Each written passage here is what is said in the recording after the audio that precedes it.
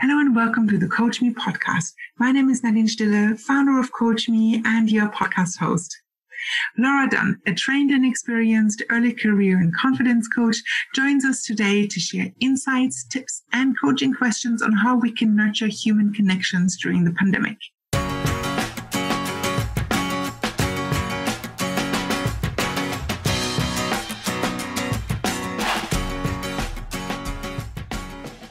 Off, a little bit more about Laura.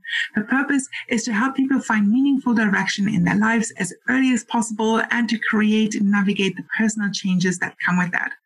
Laura's approach centers on being real, courageous, and compassionate. With a decade of HR experience in global organizations, supporting people in their early to mid career with a focus on leadership development, Laura now specializes in coaching, her happy place. She trained with leading organization Barefoot Coaching in the UK, and with more than 500 hours of one on one coaching, she's currently in the process of becoming a professional certified coach accredited through the International Coaching Federation. Laura helps people build clarity, confidence, and courage to make desired changes and to navigate those changes with resilience. In her coaching, Laura is known to create a gentle calmness while also challenging her clients where they need it the most. This all leads me back to today's topic, nurturing human connection during a pandemic. During this podcast episode, we learn how human connections have shifted in three core ways as a result of the pandemic. We discover ideas and perspectives to help us nurture connection in times when traditional ways of connecting are more limited. And we explore the concepts of loneliness and solitude and how solitude actually plays a key role in enhancing human connection. Please make sure to check out the additional resources in the show notes that include a list of ideas and activities that will help us. Let's tune in.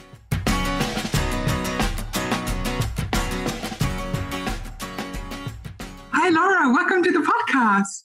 Hi, Nadine. It's so so great to be here. I love having conversations with you, Nadine. So I'm just really excited just to get into this topic. Same here. We've already talked about it quite a bit, actually, as a preparation uh, for this, and it kept coming up on my side as well, quite a bit, actually. So, what are we talking about today? We're talking about nurturing connection in a pandemic mm-hmm. and specifically nurturing human connection in a pandemic. So, this year, I think, has really shaken up a lot of our connections and really had made us have to think kind of very differently about our relationships, our friendships, how do we look after ourselves? And that theme of kind of loneliness that a lot of people might be feeling at the moment, which is not a new theme. It's existed for a really long time, as, as long as humankind, but now it's coming into really laser sharp focus. And so what can we do to nurture our human connections when mm-hmm. physical distancing is in place and when we're in lockdowns and we can't actually access the people around us in the same way? Wow, it's so topical and very, very important. So it's like I've seen it like ever since you said this is what we're going to talk about. This is something that you're really passionate about. I kept just seeing it so much more in laser focus as well. It's coming up um, in all sorts of conversations. So I'm very hopeful that people will get a lot of value out of what we're talking about today. And that obviously explains passionate about it, right? Yeah, I feel like it's such an important topic for us to think about. And it's not necessarily the kind of topic we would talk about. We don't have open mm-hmm. conversations often about about human connection and and maybe we don't even understand how important this is for us as humans um, it's a fundamental mm. human need to have that sense of belonging. Mm. So I believe this year, and I say this year as if everything's going to change on 1st of January 2021, but that's not going to happen. So this experience, this time in our lives, we might need to be more intentional around the way we connect or the way we get the benefit of human connection in different ways. Mm-hmm. Exactly. So what, when you say connection, what exactly does that yeah. So, and I remember when we started talking about this, Nadine, it was like, where do we start? How, there's so many different ways that you can look at connection. Mm-hmm. So, connection in the sense that we're talking about it today is the sense of belonging.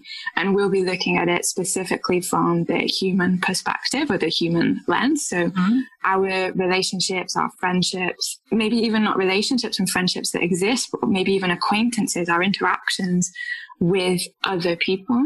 and also mm-hmm. really importantly with ourselves. And so when we think of connection, you usually think of kind of two pieces connecting or two elements connecting. Connection and human and social connection is also really important to what does that mean for how do we look after ourselves as well? How do we connect with ourselves? Yeah, that's probably something that most people forget, including myself. Like, what are you connected? Like, what, what does that actually mean? Human connection to, yeah, it starts with yourself, yeah. I guess, as well. The way you're treating yourself, the way you're maybe even talking to yourself, all yeah. things like this as well. So it's super important. Cool. Great. So how do you think human connections are changing as a result of the pandemic? Like what is, what has happened? Yeah. Well, when we look back over the last eight to 10 months, I think many of us will see that the connections that we have with others may have changed in kind of three core ways. So that mm-hmm. first way is we've had connections that have strengthened, or even we've had new connections in our lives. So we've created friendships unexpectedly or in unexpected places. And maybe even the strengthening of friendships and relationships and connection with self has also happened in unexpected ways. But it's, mm-hmm. it's fair to say probably that now we are looking, we're almost forced to think about quality over quantity. So previously, yes. you know, we'd go to the pub or we'd go to a cafe, we'd be interacting with all sorts of people. You know, think about how many people we did interact in just one day interact with. Mm-hmm. And now yeah. we're weighing up risks every day. Just generally, like in our decisions, we have to make these decisions every moment. And with that, we're also weighing up the risk of our connection and our kind of physical connection. Like, who do we choose to spend that time with? Who do I choose to spend the yes. time with in the evening on Zoom? Yeah because also we're being told that we have to limit our interactions as well, right? So if it's like you're only allowed to meet five other people, who are these five people are going to be? Yeah. Right? And who do we trust in that circle? Yeah, exactly. And then also who do we welcome? Who do we want to protect?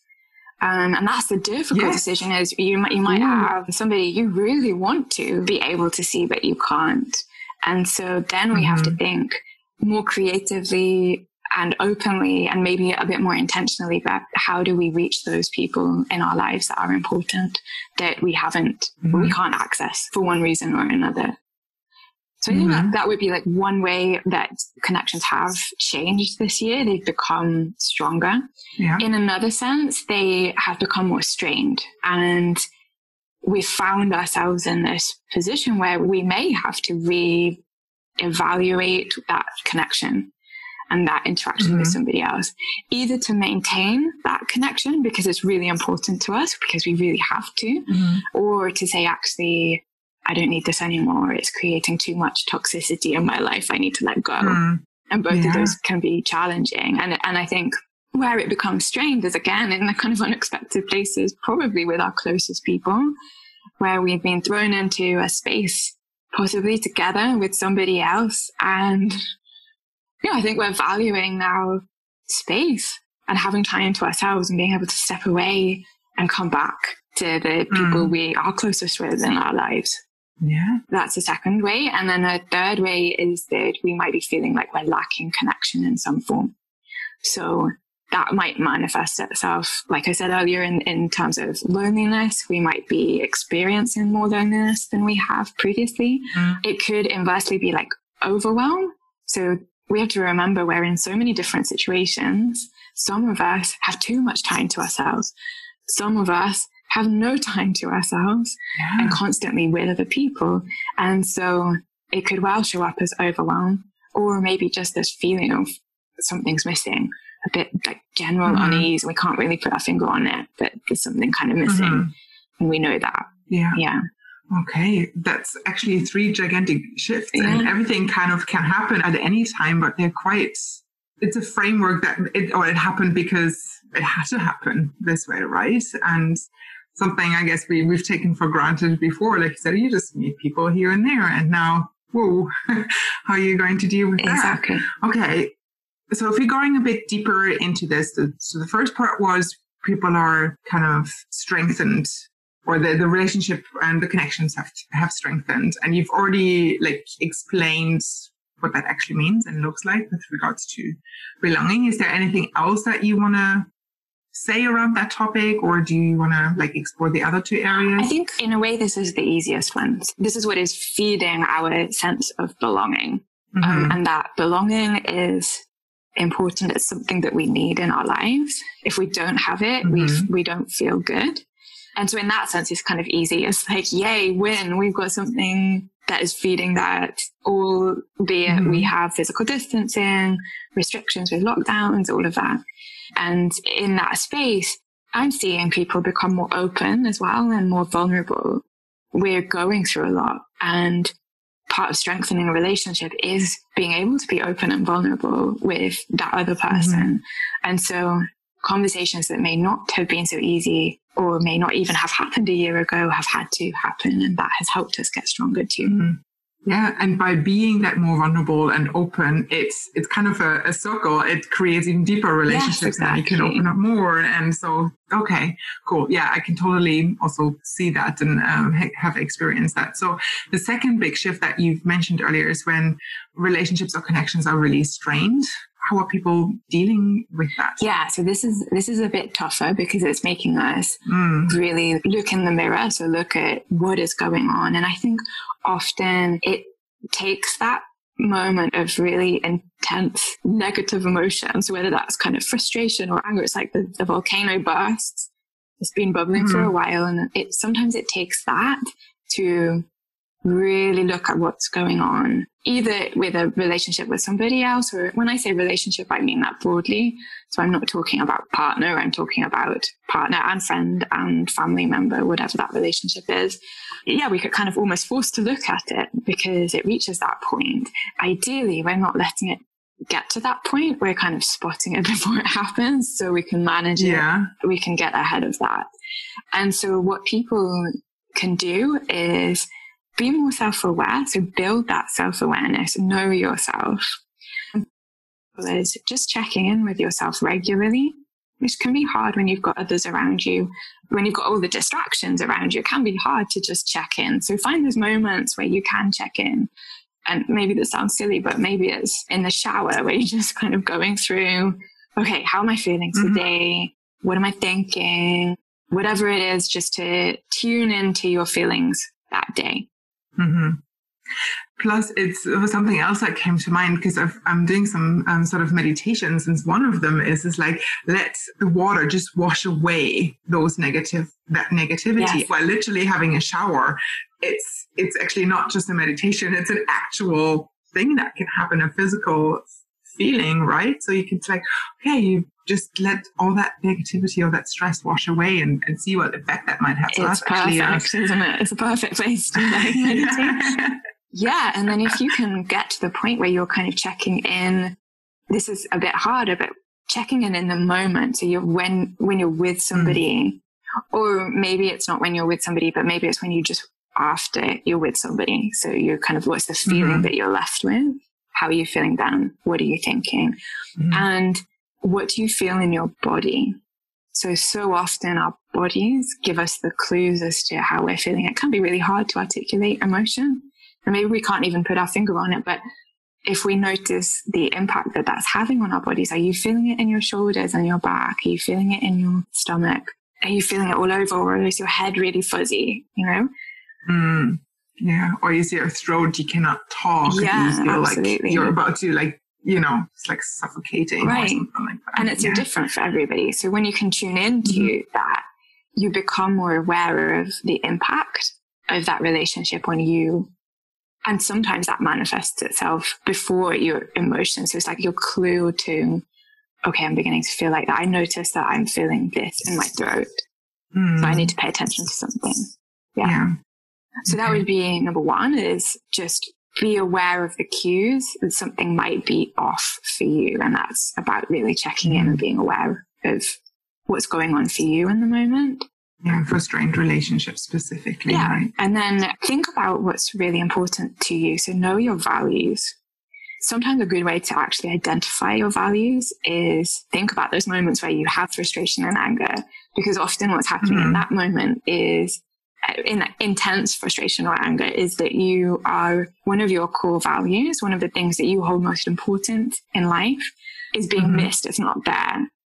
That's mm-hmm. what triggers us because there's something yeah. there that's, that we feel is really important that's not there in that moment. Mm-hmm. Do you have an example for someone yeah. who's not really had that experience with identifying values? Yes, absolutely. So I'll give you some examples of what values could be if that mm-hmm. helps. So, like respect might be a value, mm-hmm. freedom, space, learning, growth, creativity, all of these things. Mm-hmm. So, think those kind of conceptual concepts that you think if mm-hmm. the world didn't have these, or if I didn't have these in my life, how would I feel?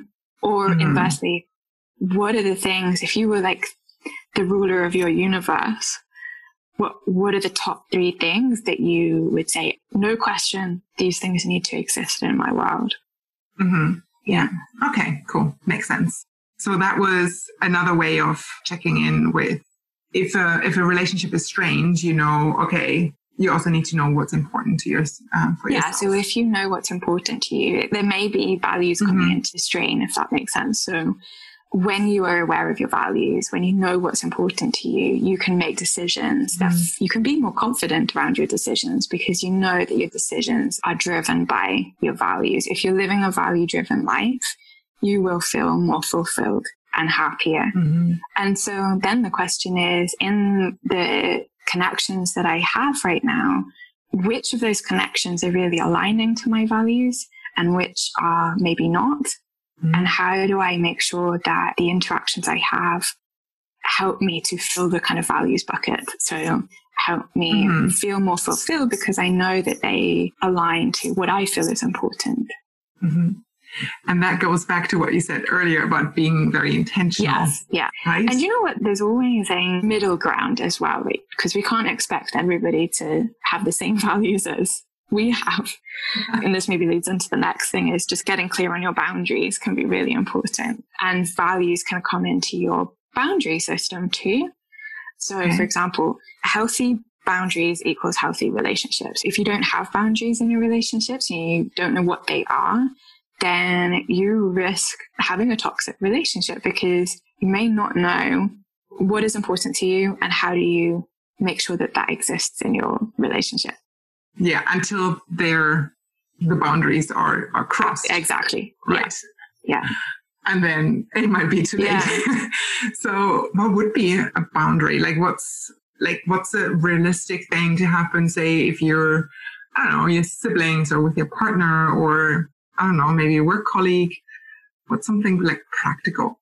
Yeah. So as a boundary. First is thinking about what are you okay with and mm-hmm. what are you not okay with?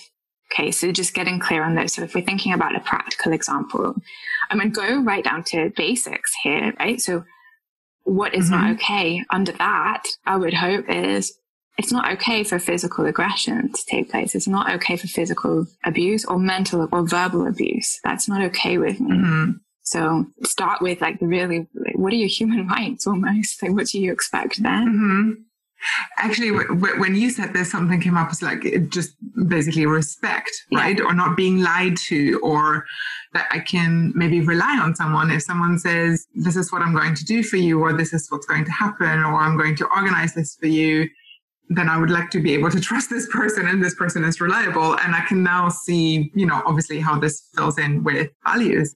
One of my, my big values would be integrity. And in that belongs you know, reliability and trust and truth and honesty and, and those type of things. And and yeah. as we're speaking then, Nadine, the thought that came into my head is sort of an example that yeah. I've had this year, and I'm sure many have had is in getting used to the world as it is right now, we have had to navigate in our friendships the things that we're okay with and the things that we're not okay with. And so Mm-hmm. It might be saying, I'm okay to meet with you. I'd like to meet with you if you can, if, if that's a possibility.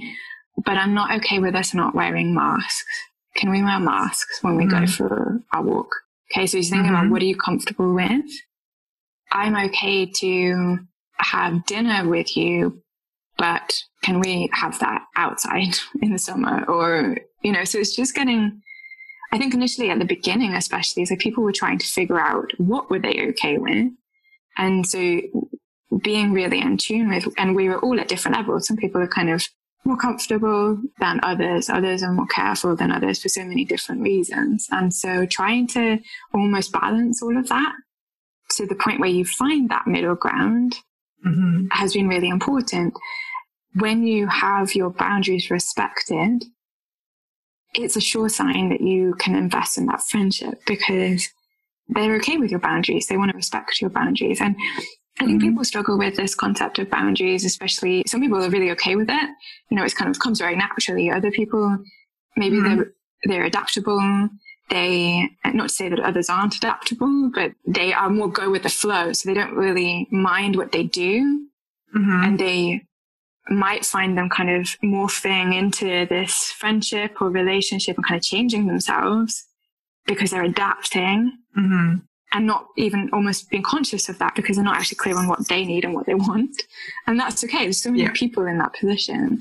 If you're feeling like you want to be adaptive to somebody else, that's a good thing. Just mm-hmm. want you to consider.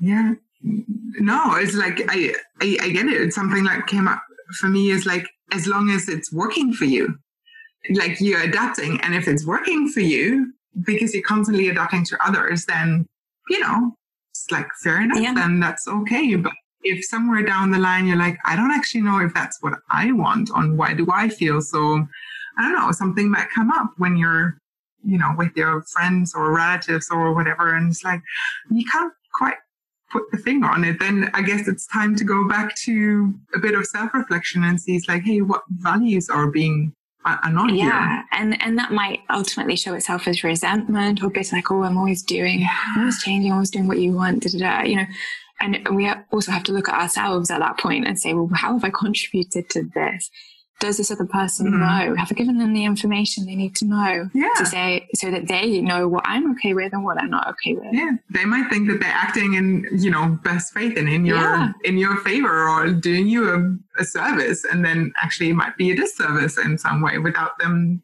knowing. And how can they how can they possibly know that if you don't share it with them? So it's a good thing to yeah. be able to establish those boundaries. yeah. Yeah there's a lot of open communication i guess yeah. that needs to happen in that sphere. So when we and that takes courage. Yeah totally. And that's where the the next bit comes which is open communication. Like once you have mm-hmm. established what your boundaries are and what you can do is just write like three columns on a piece of paper. What am i okay with? What am i not okay with? And what am i willing to compromise on? And then the yeah. next step is communication. Okay and that comes with okay. trust relationship bravery, courage, just say it as it is. Maybe it's mm-hmm. not going to come out the right way the first time, but that's okay. Sometimes these conversations are kind of awkward.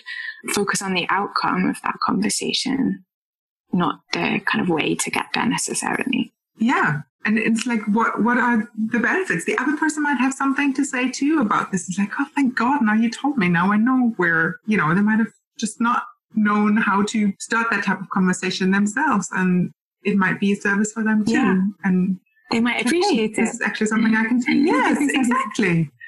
Exactly. Great.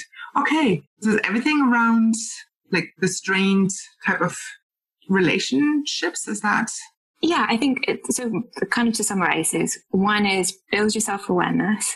So that includes yeah. how are you feeling, checking in, knowing your values, Two mm-hmm. is getting clear on what you need in that moment. So getting clear on your boundaries and mm-hmm. what you need. And that might be space. That might be, I need to step away. I need to spend some time on my own for the benefit of this mm-hmm. relationship. Mm-hmm. And that's where we'll talk about this later, but time alone helps create healthy connection.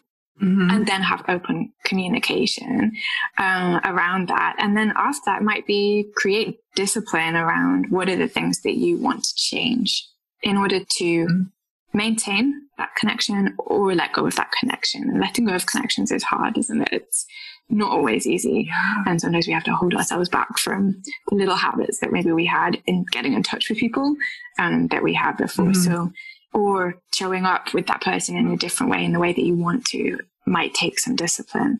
Yeah.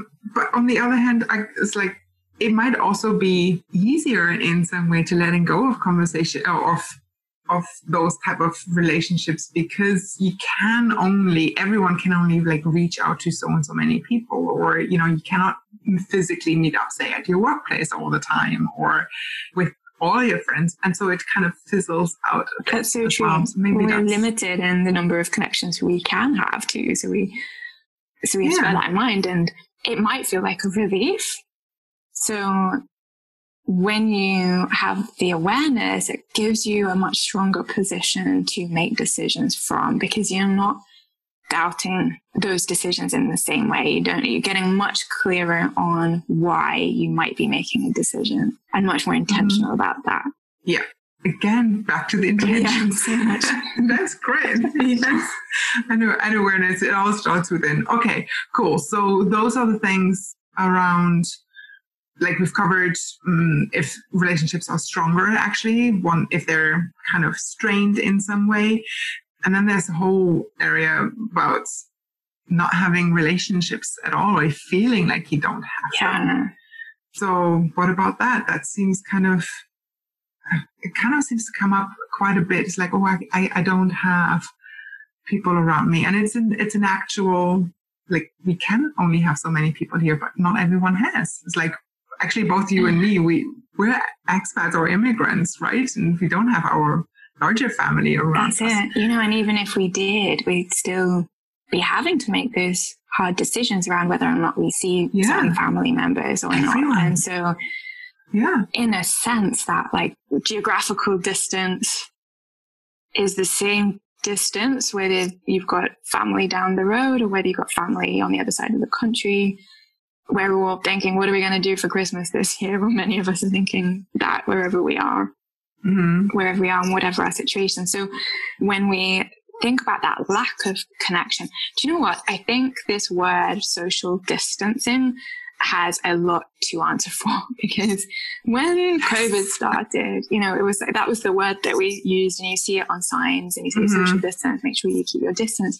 What we're actually doing, we don't need to socially distance we at this moment in time need to be careful around the physical distance. And there's a difference. So when exactly. we hear that word social, it kind of puts you into a tailspin because you think, well, what about what about my social life? I can't can I not have a social life? It's kind of implicit that we are distancing ourselves socially. And I don't think that has to be the case.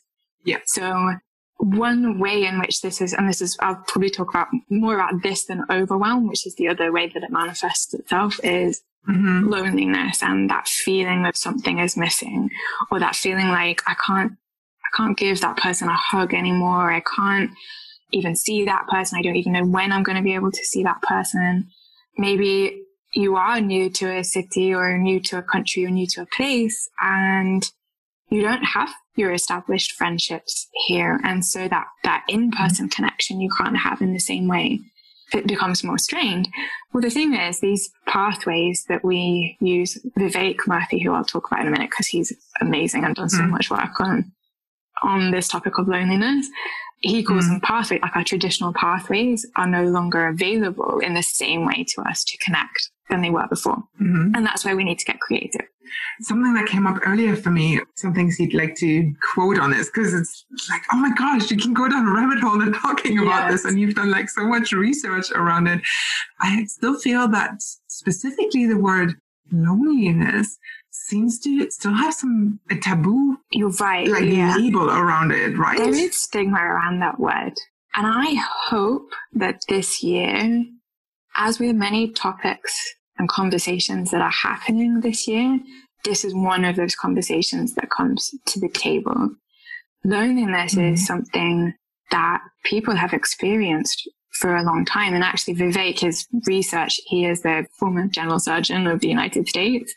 And so one mm-hmm. of the mm-hmm. first things he did was he went to visit all many, many hospitals around the US and ask what's going on. Mm-hmm. Like, what's your, what are your, the problems that you're facing?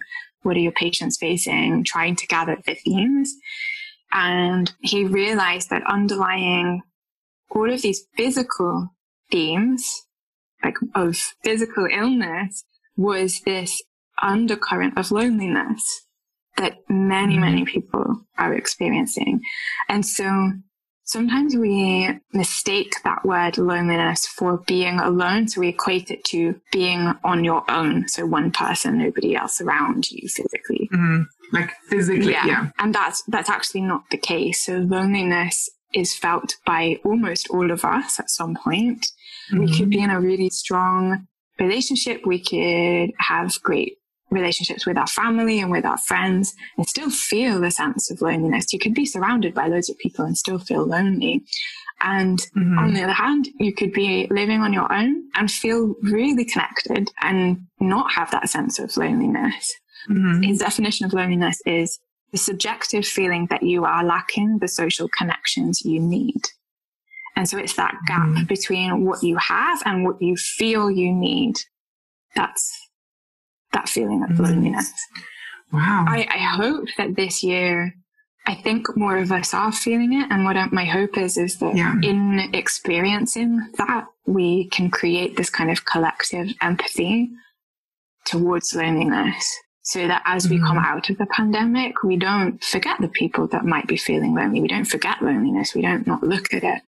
Mm-hmm. And we empathize in a different way. Mm-hmm. Yeah.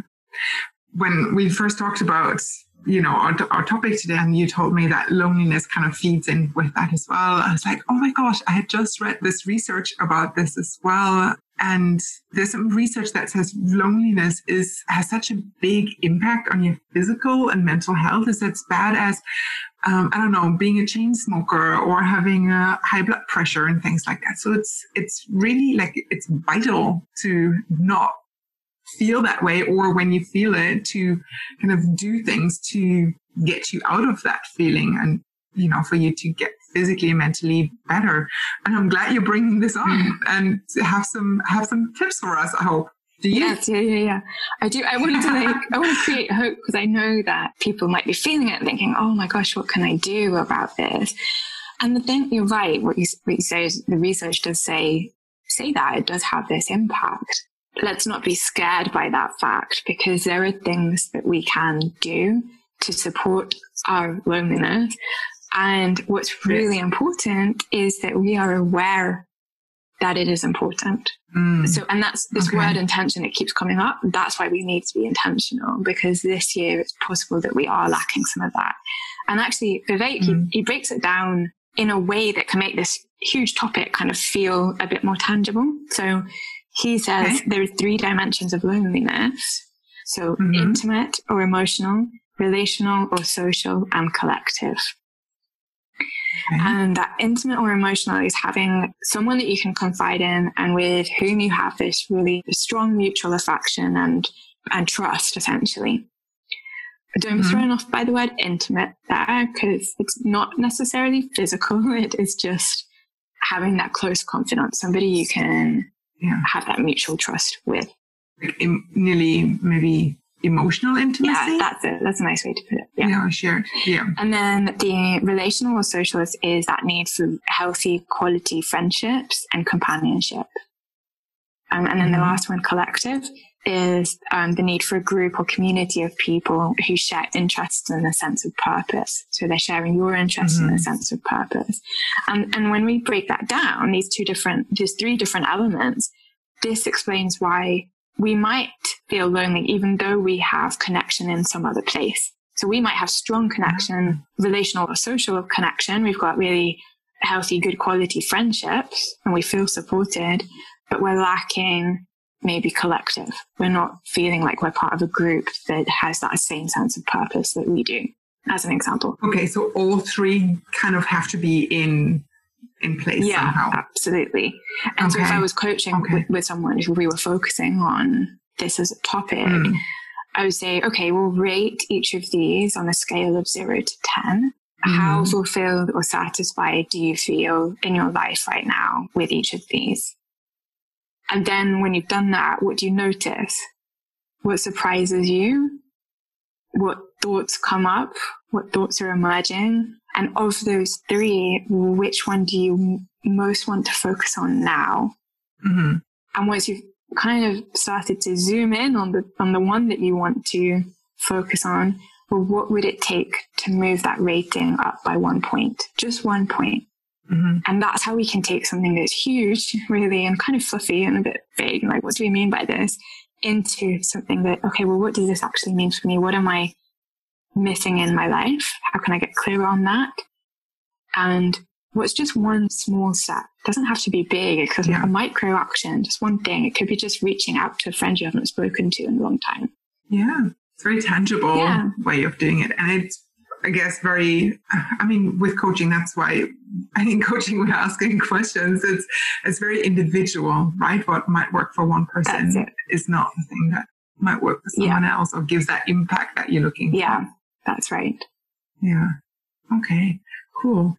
How do how do thoughts impact the feelings of loneliness? Thoughts can be just keep this in, in your mind. So thoughts create feelings, create actions. And so thoughts, they're powerful. And the great thing mm-hmm. about having, about knowing that is that they're the things. So often we think, oh, I'm feeling sad because of this event that happened, but we're missing the bit in the middle. I'm feeling sad because actually I'm, what I'm thinking about this is that was really terrible. And it's those thoughts that's creating the sadness, not the event that's mm. creating the sadness. So it's thoughts create feelings, create action. Action. Yeah. Or action or okay. behavior. You know, kind of that's mm-hmm. once you have the feeling that kind of affects how you might show up or what you might do. Okay. So again, going back to Vivek, he makes this point of um, when you are feeling lonely, you can go into self doubt. So you're feeling lonely. You might be having thoughts of, well, nobody's reaching out to me. Nobody cares, you know, right down to, I'm not worthy of love. You know, it can be that strong. And so then that makes you feel bad. Those thoughts make you mm-hmm. feel bad. And then it pushes you away even more from the relationships in your life because you kind of believing those thoughts. So the, the, the quote that I'll read from his book. So shame and fear conspire to turn loneliness into a self-perpetuating condition, triggering self-doubt, which in turn lowers self-esteem and discourages us from reaching out. So mm-hmm. over time, that cycle may convince us that we don't matter to anyone, that we're unworthy of love, driving us ever inward and away from the very relationships that we need the most. That is how mm-hmm. powerful mm-hmm. thoughts can be when it comes to loneliness. And so what can we do about that? What happens? How can we mitigate and mm-hmm. support our feelings and the, and how we feel? So that we're not mm. spiraling into these kind of negative thoughts, which actually pull us away, not closer to the people in our lives. Mm. Yeah. yeah. And it's it's like a self-fulfilling prophecy yeah. if and you're projecting things that are most likely not true. Exactly. And so in that sense it's kind of futile, isn't it? Because yeah. It's going on in your head. It's not actually it's not true. It, it's not that you're not mm-hmm. unworthy of love. It's that that's how you're feeling. Mm-hmm. So what can you do if you're feeling that way? So one is mm-hmm. just notice what triggers the negative thoughts. If you can understand what triggers a negative thought spiral, which might take you in that direction, then over time you can get ahead of it. So you'll spot it, you'll see it, and then you can do something about it before it becomes mm-hmm. so spiraled or so out of control that when it then it's much, much harder to kind of come out of it. Mm-hmm. So one is just notice what triggers negative thoughts. And then two, create strategies to reroute those thoughts in the moment. Okay. So an ex- example of that could be, let's say I'll talk about triggers, common triggers. Yeah. Maybe you notice that you have a conversation in your head, that you're having conversations in your head. And every time you do that, it spirals into negative thinking. Um, so mm-hmm. the next time you can say, okay, I can, I recognize the voices. I'm hearing voices in my head. And then that's when you employ your strategy to do something with that. Yeah. Or another common trigger might be social media, flipping through your Instagram account, looking on mm-hmm. Facebook, mm. getting into the comparison space that we often get to with social media that then triggers yeah. those thoughts. Or it might be that it's, and this might not be a trigger, but also think about your environment. When does this happen? Is it when you're doing mm-hmm mindless activities where you have the opportunity to get into your head as opposed to when you're working and you're focused on something or you're reading a book. So mm-hmm. what is the environment around you? What's happening when you start to go into those thought patterns? Mm-hmm. And then it's like the thing that came up is like the boundary setting. It's yeah. not just necessarily what you refer to, it's the, the boundaries for other people. You're setting boundaries for yourself as well. I love that. That's really cool. Yes, it's you thinking about where are you allowing yourself to go and what, where yeah. you're not allowing yourself to go.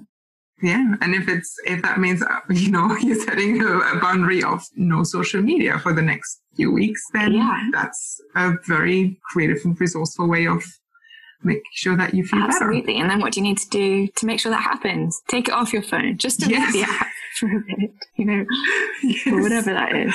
Yeah. Yeah. Yeah. Mm-hmm. yeah see through that. Cool.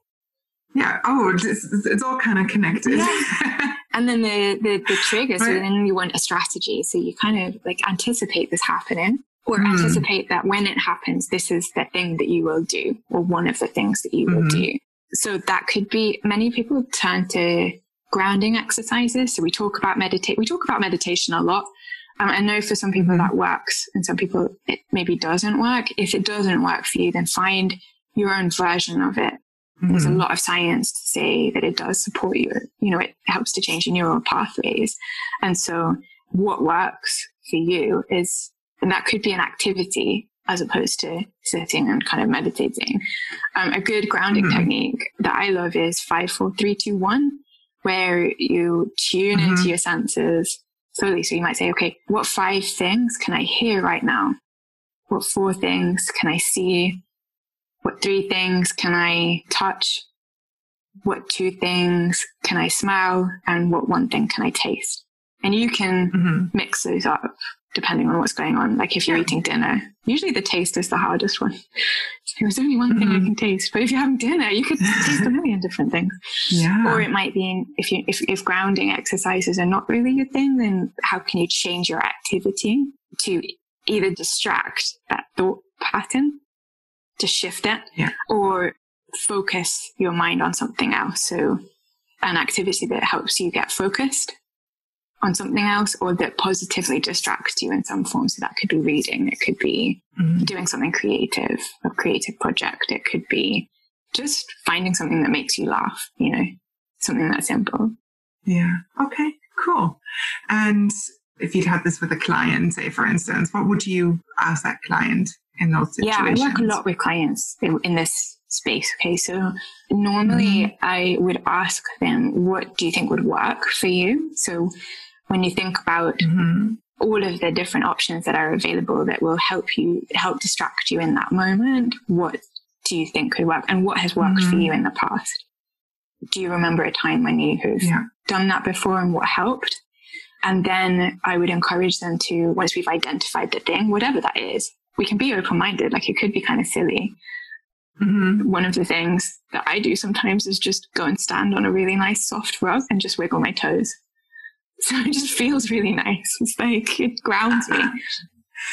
yeah. So, and then yeah. I would say, okay, let's experiment with that. So there's no pressure to get it right first time. You're building mm-hmm. a toolkit of strategies that you could use.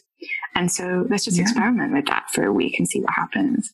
Yeah, you could just lie down yeah, exactly. and wiggle your entire body on the rug, not just the feet. Roll around in it. Totally.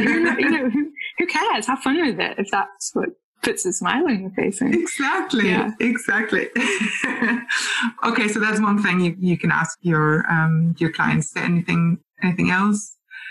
Yeah, I think those questions around like what's happening. So building your awareness around the trigger. Mm-hmm. So really, what is happening?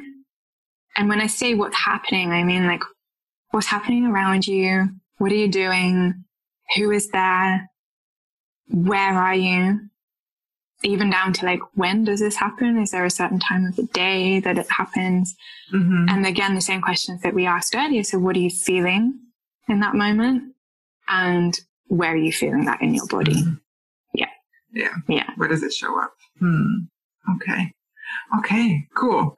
Wow. Lots to lots to take away from that. So um if like we touched on that earlier what if you don't have people in our household? And we really kind of miss that human connection because we're kind of living on our own and you know kind of maybe new or there's no other people around us what what is there we can we can do to get a bit of human yeah, connection. So and- here, if you're living on your own, here's something I want to share with you that really struck me, which is we're talking about like, Mhm. solitude. Okay. Mhm. So if I say to you, Nadine, what comes up for you when you hear the word solitude? Sitting somewhere with a book. That sounds kind of peaceful. Is it peaceful? Yes, peaceful, calm, relaxed, kind of comfortable. Comfortable. Okay. Mhm. And if I say to you, what comes up when you hear the word isolation? yeah, that kind of seems cold. Hmm. That what comes to mind: isolation, distress in some way, or like force That comes up. Yeah. Solitude. No, not solitude. Isolation. Yeah. I don't know. I like the image that came to mind was a prison cell, Okay. Yeah. That sounds kind of heavy, doesn't it? right? Yeah. Yeah. Mhm. So um, let's think about that concept of solitude. Because in both scenarios, solitude and isolation, we're probably on our own. Mhm. And yet we hear again, it comes down to this word, the wording that we hear, isolation doesn't feel good. So if we are living on our own, how can we see this moment as a time for solitude? How can we choose to see it from that perspective Mhm. instead of forced isolation? Mhm. And then when we view it from that perspective, what's possible? Mhm. And so you might think, well, why is this important? I need some kind of practical tips here, right?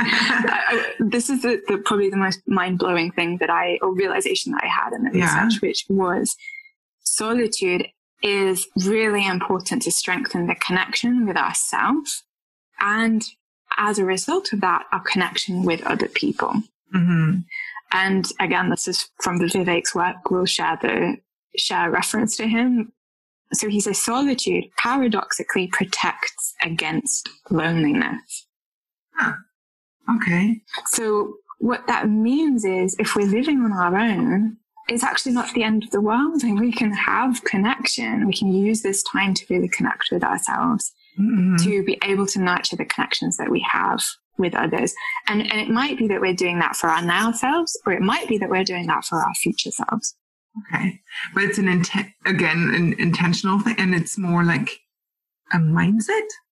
Is it more, is Um, that the difference? Frame. Yeah. Okay. Yeah. Yes, exactly. So it's, you know, often I'd say to clients, okay, you're in a situation where there's a whole number of things you actually can't control. What can Mhm. you control? And many times, what can you control is the mindset and the frame of mind you have looking at this situation. So, Sure. how can you step around or look at it from a different viewpoint? And when we choose, we have it within ourselves to choose to see this time as Yeah. solitude if we want to, as opposed to isolation. Yeah. And what do you want to do with a time of solitude if you see it that way? Mhm. How can you make the most of this time? How can you see it as an opportunity? Okay. Great. So it must be hard if you're living alone right now because of the restrictions that are going on. So what can we share with people about that? So people listening and what are some ways we can kind of either reframe it or do about it? Are we hugging ourselves? Is that Talking about human contact, like Yeah, physical like, connection, yeah, yeah. like hugs, yeah. yeah. Um, don't we all? We are all going to really appreciate the hugs in our lives right now. yes. so yeah, there, there is such a thing as skin hunger. It is a thing. Look it up. It's Uh-huh. it's something that people are feeling right now. So what can we do? hmm I think one of the things is we kind of have to accept that we don't, we can't have the in person in the way that we used to. Okay. So that's number Mhm. one. And maybe we don't know if there is an alternative that really fully replaces that. So I don't want to sort of sit here and say, here's, here's all the things you can do. And, you know, this is going to be your complete alternative to human Yeah. contact. We don't know if these things can really truly replace it, but let's think about it logically. Okay. So human contact and having human contact releases hormones in our body hmm of endorphins, oxytocin, dopamine. hmm And so if we're not having that human contact, we may be lacking in some of those hormones. hmm So we may be having less of that. So then that takes me to, okay, well, logically, what can we do? Let's just get straight to the Yes. jugular here. Like, what can we do practically to give ourselves and our bodies the benefit of human contact when we can't have human contact? What are the mm-hmm. other things we can do? Okay. And some really yeah. cool stuff. Yeah. So then, yes. so it, to release your endorphins, and you can do a Google search, just see what comes up here. Um, yeah. So regular exercise, that always comes up. So this is a reason to do regular exercise. I'm not going to go through the whole list here. We can maybe share it. yeah, I'll, we'll put them yeah. in the show notes either in a separate document or we'll list them there. So uh, maybe yeah. like the the top three for each one of those. Okay. So the thing that really struck me was listening to and creating music. Mm. That releases every single one of those runs. Yeah. So are you listening to enough music in your life? Um, another one is eye contact. So make eye contact. How many times do we go into a coffee shop and we don't, or a supermarket and we don't really interact with the person behind the, the till? Well, maybe mm-hmm. we could. Or the delivery person, maybe we could just look them in the eyes. Yeah. That would give us a little bit of oxytocin. And then sometimes the only thing that we really have access to um, with regards to like mimics or anything else in their face, because you can't, everyone's wearing a mask, right? So you can't see them necessarily smile, but you can see what's going on in their eyes. So kind exactly. of laser focus into that. Yeah, yeah, and smile as you're doing it. Maybe yeah. they can't see, but they they will see the smile your Shows in your voice as well. Yeah, or in your yeah. eyes. The other thing that struck me was synchronous activity. So doing an activity together. So we get, we bond when we do activities together. Um, okay. that could be like a team sport or it could be singing in a choir. We mm-hmm. can't do that in the same way right now, but there are loads of online experiences that we could sign up to. We could say, Hey friend, in the UK, do you want to do this with me? Let's go and make a cake. Let's learn how to do tapas for an afternoon or whatever it is mm-hmm. to just find something that you can share together as opposed to just having conversation all the time. Like, what can you do together? Yeah great. I have a watch party. That just came to mind. I heard someone the other day is like, yeah, yeah, we all put on that movie and then we watched it together and we saw each other's yeah. reactions to that. It's like, okay, it's like never done that myself, but it's a creative way of just, you know, getting a few things in together or yeah. maybe even listening to music together. Exactly. And even if it feels a bit silly, that's the bonding bit. That's the, you will look back at that time and say, oh, do you remember when we did that? That was fun. Yeah. Right. So yeah. it's, it, you know, just experiment with that. Okay, cool. So those we'll put the full list in the show notes for the podcast yep. so people can download that. Wow, that's a whole lot of information around us. Yeah. I have like three final questions that I'm asking everyone who's coming on the podcast. But before we go into that, is there any like final final messages, anything you want to kind of summarize or bring across? Uh yeah, I think I would say so it's a year to be intentional mm-hmm. with your connections in a genuine way. Mm-hmm. Reach out. Don't be afraid to reach out. Most people are struggling right now in some form or another. So if you reach out, you're probably going to get a really positive response yeah. from someone. Um, and lean in. So if somebody gets in touch with you and you haven't heard them for a while, from them in a while, or maybe you have, this is not a time to be ignoring each other. Lean in if somebody mm-hmm. touches base with you. Yeah. Yeah. There's a good chance the other person might be feeling the same way. And it's really grateful exactly. that you've had the courage. Right. Right. Yeah. Yeah. Oh, I totally get it. Thank you for all that super valuable um, knowledge and insights and, and sharing all that. I hope people get lots and lots of practical things from it. If anyone starts uh, I don't know, a dance party or something synchronous, like maybe invite us or let us know yes. how, that, how that goes. If you have uh, any of that going on, send us a picture. so there's a, like, there's three questions that I'm asking everyone. One is like, what's a book recommendation that you yes. want to maybe check out? Okay, I've talked a lot about this guy, Vivek Murthy. So I'm mm-hmm. going to recommend his book, which is Together, and it came out mm-hmm. this year. And it really kind of taps into this topic a lot in a lot more detail. Mm-hmm. So I would recommend that. If you don't want to get the book, there's some great podcasts that he's done with Brené Brown, with Waterstones Book Company in the UK. Mm-hmm. Um, so just Google his name and see what comes up. Okay, cool. What's one thing on your bucket list? On my bucket list, I would love to do a road trip from Vancouver down to California. And it's, it's, kind of cliche, isn't it? Do a road trip somewhere, but yeah, just take a few weeks and just really, uh, just explore the states. Oh my God, that would be yeah. one of my things too. Really? yes, I've talked about it a few times and then I was like, oh no, now it's not possible. Oh, I know, it's a pandemic. Oh no, it's not possible too. It's like, ah, okay. oh, hey, that's a good one. Yeah, I, I imagine this, this car and then you're just on the on those long straight roads and and exploring everything. Yeah, like, wow, music. that's cool. Yeah, obviously music, and that actually leads us into the last uh, question: What makes you dance? Oh, okay. If I type in 90s playlist on Spotify or maybe like early 2000s playlist, that's for sure going to make me dance. Yeah. Song that comes to my mind is 500 Miles by the Proclaimers. I don't know if I would dance to that or just bob rather strongly or just jump mm-hmm. around. But anyway, it's just a smile on my face. That's a good one. Perfect. Thank you so much, Laura, for Thank you, Nadine. everything, sharing all those insights. Yeah. Thank It's you. been really, really lovely. Thank you so much for the opportunity, Nadine. You're welcome. Thank you so much. Bye. Bye. I'm curious, what resonated most with you? Remember, there are lots of tips in the additional resources document of the show notes. To explore how you specifically can increase and nurture human connection, I'm inviting you to book an initial free coaching chat with Laura. Simply go to coachme.global forward slash book to request your session. That's coachme.global forward slash book. As usual, I'm grateful you've tuned in. That's it for our last episode of 2020. We'll be back with more coaching goodness early next year. Thank you and stay curious.